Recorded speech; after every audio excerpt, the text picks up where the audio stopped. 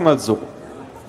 Mit dem Rücken zur Wand steht jetzt nicht wirklich keiner von den beiden. Ja. Beide wissen, was der andere kann. Ja. Und ich denke, das könnte Mero in diesem Set einen relativ großen Vorteil geben. Aber True 4, man hat es gesehen, True 4 hat eine äh, Trickkiste, die ist einfach, die geht bis in die untere Etage. Ja, gefühlt. das stimmt. Ähm, mit so einer genauen großen Trickkiste muss man auch bei Meo rechnen, weil man, man denkt so, man hat schon echt vieles gesehen bei Peach und dann macht er halt immer wieder was anderes und haut dir halt noch einen Hit rein und du lässt, lässt dich davon treffen und ja, dann denkt man sich, hm, man weiß doch nicht so viel über den Charakter, wie man normalerweise denkt.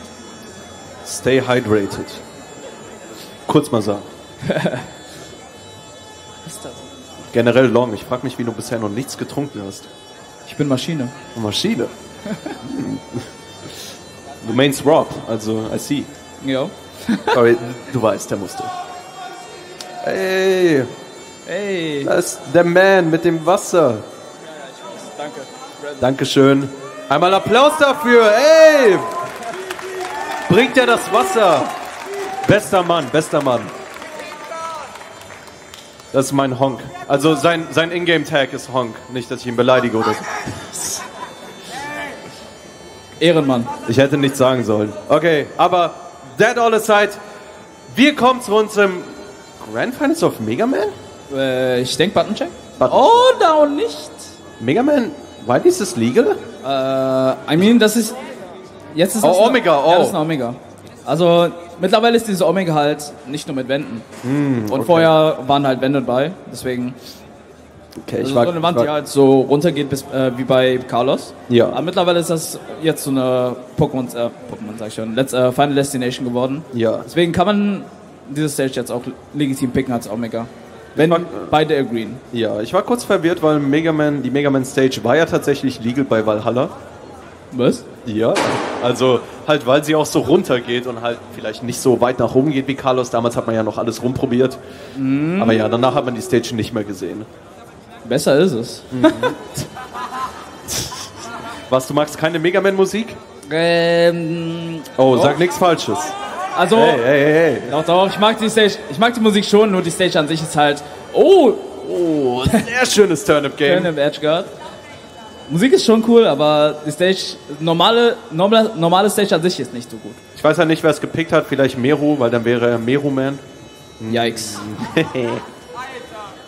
Sorry. Okay. Die, schle die, schlechten, die schlechten Punts werden hier rausgehauen. Ah, okay, okay, okay. Tut mir leid. Jedenfalls, back to the game. Meru mit einer relativ guten Lead. Oh.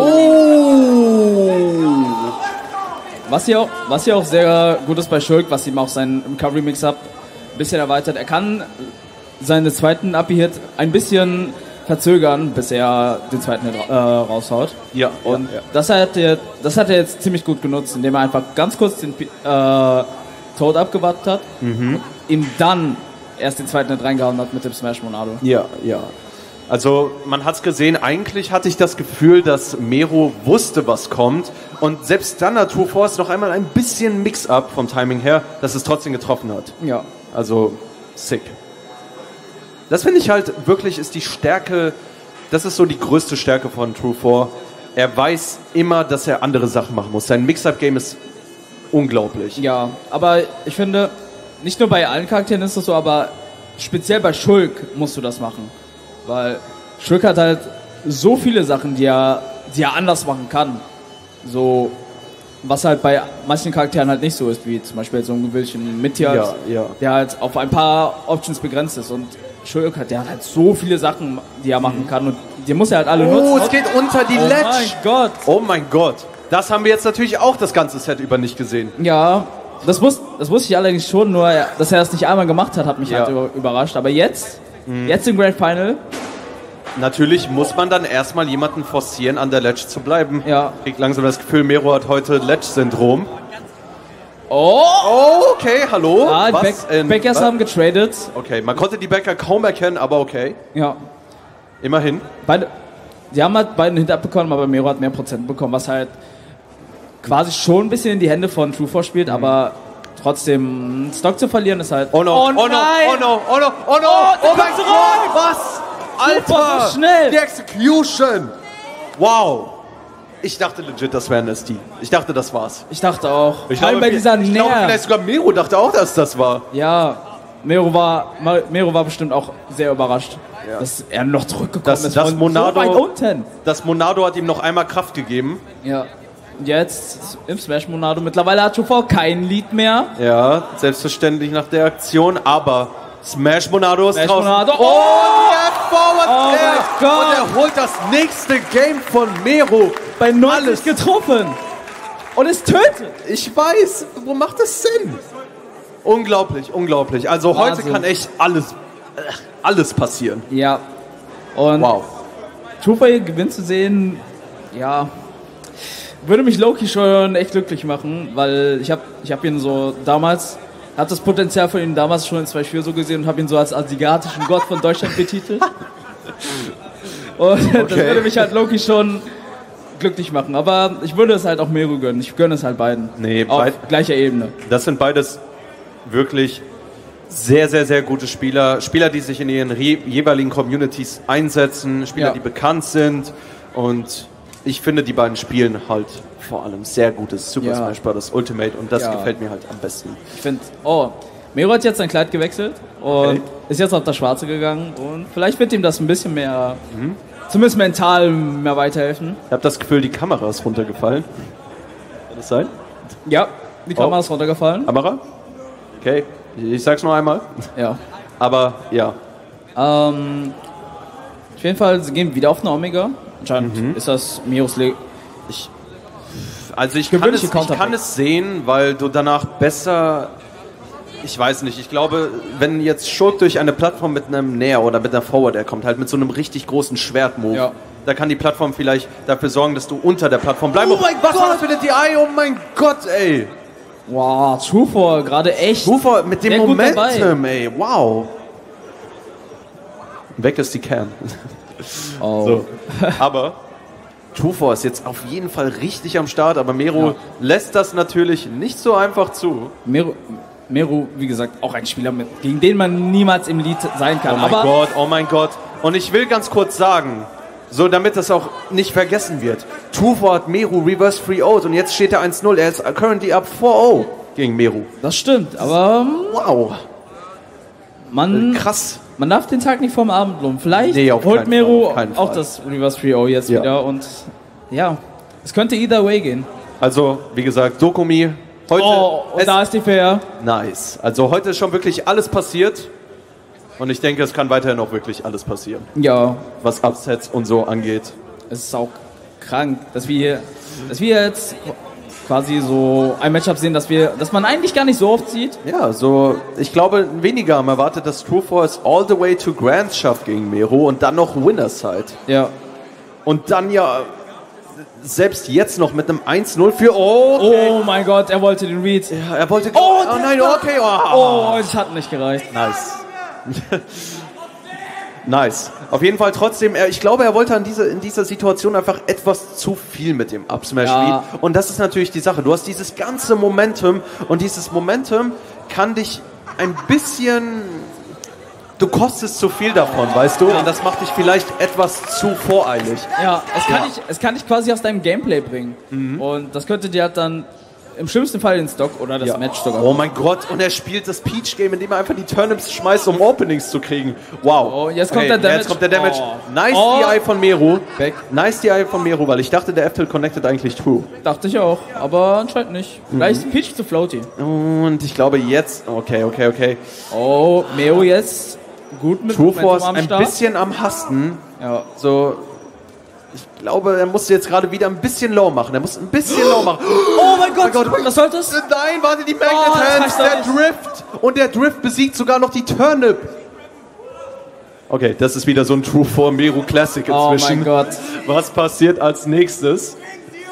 Oh! Oh, er hat Okay, oh, what the? Oh Gott, oh Gott. Okay, Shield Monado. Er braucht den Monado, Damage. er hat den- Smash. Okay, forward der, forward der. Doch nicht, doch nicht. F Oh mein Gott! oh mein Gott, ich dachte, jetzt kommt der. Zu viel Pressure! Oh mein Ah, das Oh, sollte reichen, er hat keinen das, Jump, oder? Das, Das- was Nein! nicht? Oh mein Gott! Was passiert hier gerade? Und den Ah, okay. Oh mein Gott. Was war das für ein... Was waren das für 30 Sekunden gerade? Oh mein Gott. Und das Schlimmste, und das Schlimmste ist, diese 30 Sekunden, die zwei hatten 90% Unterschied. Ja, Und es war trotzdem Last Hit quasi, weil Es Shulk war- einfach dieses Smash-Monado hat. es war dead even, ja, weil Shulk, ich glaube, definitiv einer der besten Comeback-Charaktere im Game. Einfach Ja. wegen der Smash-Art. Ja. Nicht nur wegen der Smash-Monado, einfach alle Monado-Arts geben ihm so viel, so viele Möglichkeiten. Du kannst aus einem Smash-Monado, aus Speed-Monado-Art Momentum gehen und aus diesem Momentum kannst du Buster Damage machen und nach dem Damage kannst du halt einfach versuchen, so früh mit Smash zu töten. Jetzt bin ich gespannt. Mero wieder mit dem Color Switch. Die Kleid Gold- wird gewechselt Die auf goldene, das Goldene. goldene Pfirsich. Eigentlich sieht es für mich aus wie so Sprühlack. Game, Ich weiß, es sieht für mich aus wie so Sprühlack-Peach. ja, kann sein. Game 3, wieder eine Omega. All the way Omega heute. Ja. Ich finde es halt auch interessant, dass True 4 ihn auch auf FD immer counterpickt. Ja, anscheinend scheint die Stage auch relativ gut zu sein, weil sie auch sehr viel, sehr viel Platz beinhaltet und Ich glaube, die beiden haben sich auch in irgendeiner Form an das Neutral gegeneinander auf dieser Stage jetzt gewöhnt. Ja. Und Sachen, die man könnten sich vielleicht ändern und das will, wollen vielleicht beide nicht. ja, die wollen sich, die wollen sich gegenseitig versuchen out, zu outplayen nur noch. Und ich fand es sehr interessant. Er, äh, Meru hat gerade auch das Shield von ähm, True for gefloat cancelled und ihn dann aus dem Jump rausgegrabt. Das sah schon sehr interessant, oh, Ja, ja. sehr interessant aus. Oh, Smash Monado. Oh mein Gott. Okay. Der Mix-Up trifft. Oh, okay, ich glaube, Backthrow killt. Nee, nicht Nein. ganz. Nicht nach- Pre-Patch auf jeden Fall, though. Ja, Prepatch hätte das um Längen Ja, getötet. Pre-Patch wäre äh, Peach jetzt in Halle 13. aber ja, schade drum, denn deswegen ist der Stock immer noch nicht weg. Aber Mero trotzdem mit einer relativ advantage, advantageous Position. Oh, nice back, ja. Ähm, Manchmal, Ja, manchmal kann man wirklich nur das sagen. ja, Oh, okay, oh. zu hoch recovered. Das war nicht so, nicht so klug gehandelt von Meru. Aber, oh! Okay. Ja, nicht. Na, Forward Throw killt auf. Das Jump ist raus und er ist tot. Oh, okay. Sehr schöner Snipe. Und ich habe das Gefühl, Mero weiß, dass 4 langsam die Low Recovery bevorzugt, Ja. indem er unten erst zu Jump wechselt, um einfach safe an die Ledge zu snappen. Ja. Und deswegen weiß er jetzt schon, in welcher Trajectory er seinen Turnip schmeißen muss. Ja, Das- vor allem High Recovern gegen Peach ist halt immer so eine Sache, weil du entweder die AP fressen könntest, weil sie kann halt immer noch töten, auch wenn sie stark genervt wurde. Mhm. Aber es gibt halt noch diese Möglichkeit, den Jump rauszukatchen mit der Forward Air und wenn du den Jump raus hast, dann bist du gefundenes Fressen. Ja, ja, ja. Vor allem als Peach. Jetzt heißt es mal wieder ganz in Ruhe spielen. Ich glaube, keiner will jeweilige Leads abgeben. Noch ist es even. Noch. Sehr eben. Okay. Bastard. So, er kriegt noch keinen Damage raus. Oh! Oh, er kriegt den Grab. Nair, Nair Safe on Shield, okay. Das war Oh, das keine war's. gute Entscheidung. Ah, keine gute war Entscheidung. viel zu risky, vor allem bei Killprozenten. Ja, ja, ja. Aber noch ist es nicht vorbei. 80% auf Peach. Basically Kill Percentage jetzt. Basically Killprozent ist ja. Oh, Oh. nice. Knappe Sache, ja. Der Ledge Pressure von Shulk in der Smash Art ist amazing. Ja, vor allem, wenn, vor allem, wenn man es so, so, äh, so nutzt wie True 4. Ja. Also man, man muss halt irgendwie Options guessen. Wenn du von der Uptilt bei 80 getroffen wirst, bist du tot. Deswegen bleibst du meistens im Shield. Du Ja. kannst nicht under Ledge bleiben, weil du Forward Grab wirst. Was ist gerade passiert? Äh, sie, sie haben darüber gelacht, dass äh, Shulk im Schild Monado sehr langsam auf Mero zugelaufen ist. Und ähm. Oh, okay, okay, okay. Oh Oh, mein nein, und der, Ah. der Mix-Up kostet ihn seinen Stock. Ah, Etwas er hat, uncharakteristisch. Er wollte, das, er wollte das Game ein bisschen zu früh zu machen. er, hat ja, er hat jetzt ihm gut Damage reingedrückt, aber ja, es kostete ihm halt den Stock. Es waren halt so die 40% oder so. Und ja, das Stock war halt dementsprechend weg. Es war halt ein bisschen traurig an der Stelle für Mero, aber oh, Oh, oh, oh, oh mein Gott! Was? Alter! Oh mein Gott! Alter, what the Oh mein Gott. Wann hat man denn mal ein Lied gegen 4? Was passiert hier? Dieser Junge, Alter. Der, der ist klatsch. Oh mein Es Gott. existieren keine Leads gegen True 4. Du denkst, du hast eine Lead, der will, dass du das denkst. Und dann haut er den Mix-Up raus und killt dich bei, was war das, 30? Es war bei 30 ein Spike mit dem Smash Monado. Oh Mann. Du warst einfach tot. Gott, und True 4 mit der 2-1-Lead jetzt.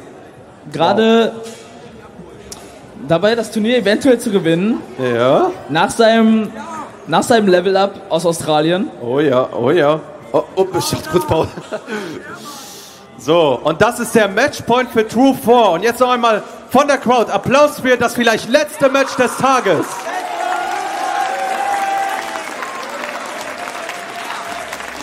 Oder auch nicht. Also die Crowd ist heute echt wunderschön, das freut mich so ja, sehr. immerhin. Sowas hat Ihr, ihr macht das so toll, wirklich. Okay, zurück zum Match. Oh, okay, zurück zum Game. Wieder einmal FD. Mhm. Also, wir sind wieder bei FD. Schulk direkt mit einem Triple Forward Air zur Buster Arc. Und es ist wirklich so gut, weil wenn er die Triple Forward Air mit dem Speed, äh, Speed Mode bekommt, kann er gleichzeitig Buster raushauen, mhm. weil Peach befindet sich ja dann noch in der Luft und der Disjoint ist einfach sowas von stark. Ja. Okay, oh, oh mein Gott! Double Jump ist raus! 2-4. Double Jump raus! Yes! Wow! Oh mein Gott, 2-4! Trufor mit einem super guten Lied. Hier Matchpoint. Trufor gibt dir auch wirklich alles, um, um wirklich das Game zu beenden und das Set zu beenden für Trufor sich. Trufor spielt gerade auf einem anderen Level. Das ist ein anderer Trufor, als ich ihn jemals gesehen habe. Er spielt so gut und seine Mixups sind so on point. Und Peach hat es auf jeden Fall auch ziemlich schwer in dem Matchup, muss ich ja, sagen. Ja, also, es kommt echt schwierig rein. Ja. Oh Gott, oh, oh Gott. Mein Gott. Okay, yes. Speed. Ah, Okay. Side B Recovery. Man, man denkt auch einfach, ja, kann man bestimmt contesten, aber Oh mein Gott, er carried ihn einfach literally off stage. Meru ist jetzt der, der, der in der Pressure-Position ist und er muss ihm unbedingt den Stock wegnehmen, Ja. äh, wegnehmen und dann hast du halt Trooper mit der Shield, Ja, oh mein mit Gott. dem Shield Monado. Und der baut sein Lied so krank aus. Das killt noch nicht. Nein. Nerf, Nerf sei Dank. Oh, ja, okay. Nice, nice. Mann, da konnte, da konnte Schulk aber gar nicht viel machen. Ja, er hätte halt lower gehen können, aber da war er sich halt ein bisschen unsicher und dachte so, ja, ich treffe jetzt Peach mit meiner immensen Rage. Aber es war halt nur einen kleinen Pixel verfehlt. Da, die ganzen Turnips von vorher haben da auf jeden Oh, Fall oh, für das Conditioning gesorgt. Oh, oh, okay, okay. Er wartet, er wartet. Okay. Smash Monado ist gefährlich. Oh, er hat den F. Oh mein Gott. Guter Callout von Meru, dass äh, äh, True 4 jetzt für den Grab gehen wollte. Ja. Mein Gott, und was das, was das für eine Story wäre, wenn True 4 das jetzt gewinnt. Ja. Kommt von Australien Oh, zurück. mein Gott, Upbeat. Ein ganzer Stock-Lead. Ein, eine Full-Stock-Lead. One more Stock Chance in der Crowd. Oh mein Gott. Ja. Ist schon vor gerade Ja. dabei, das Geld zu, äh, das Turnier zu holen. Oh wow, ey, die Crowd ist am Eskalieren. Oh mein Gott. True 4. Kannst du das Ding zumachen? Mero jetzt immer noch in einer super gestressten Position. Ja. Amiro nicht. Es sieht so schwer aus Es sieht halt echt so ich schwer verstehe aus. nicht, was Mero jetzt machen könnte. Er wird halt von allem outranged. Du musst halt reinkommen, irgendwie, wenn er einmal whifft, aber Ja, aber dann kommt halt eine Nähe und du wirst getroffen und kriegst direkt 20 Prozent. Ja. Oh mein Gott. Und ich glaube, das letzte Game war halt bestimmt auch so ein Mindset-Hit gegenüber Meru. ja, so ein Mindset-Break einfach. einfach bei, bei, bei dem Prozent, Bei, bei deiner Lead vor allem noch. Oh mein Gott. das tut halt auch einfach dem Kopf weh. Ja. Nach einer Zeit. Das ist so. Oh mein Gott, das könnte reichen. Oh, oh, oh mein Gott! Mero, ge, äh, True 4 gewinnt. Oh mein Gott, mit dem krankesten Mix-Up. Wow. Oh mein Gott. True 4 gewinnt. 3 zu 1. Unglaublich. Oh. Die Leute stürmen auf die Stage. Krass. Oh. Oh mein Gott. True 4 gewinnt Dokumi. Unglaublich. Unglaublich. Sechster Seed. Und Sechs. gewinnt das Turnier. Nicht ein Set gedroppt. Oh mein Gott. Alter. True 4. Oh mein Gott. Der King aus Hessen. Der King aus Hessen und definitiv nicht nur ein Top 3 oder 5 Spieler aus Deutschland, sondern Dieser Typ hier ist definitiv eine europäische Menace und dafür nochmal Applaus. Euer Sieger ist True 4.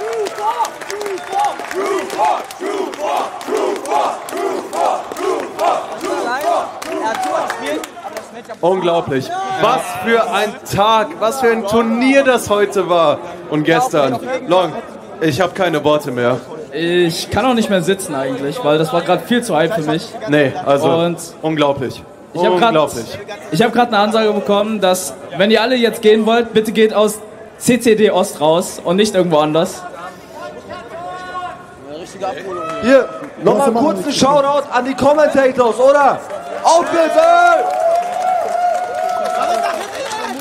Und Lon hat immer noch nichts getrunken. Okay, ich muss jetzt auch alle Zuschauer bitten, einmal die Halle zu verlassen. Wir sind sehr spät dran. Die Top 8 bleibt noch mal kurz hier. Ihr kriegt eure Preise. Alle, die es Top 8 geschafft haben, kommen mal auf die Bühne. Aber alle Zuschauer müssen jetzt raus. Also auch Bekannte und Freunde, bitte verlasst die Halle. Und zwar in diese Richtung dort. Okay, und einen Shoutout haben wir noch vergessen. Bitte noch einmal einen kräftigen Shoutout an die Leute von Team Calypso.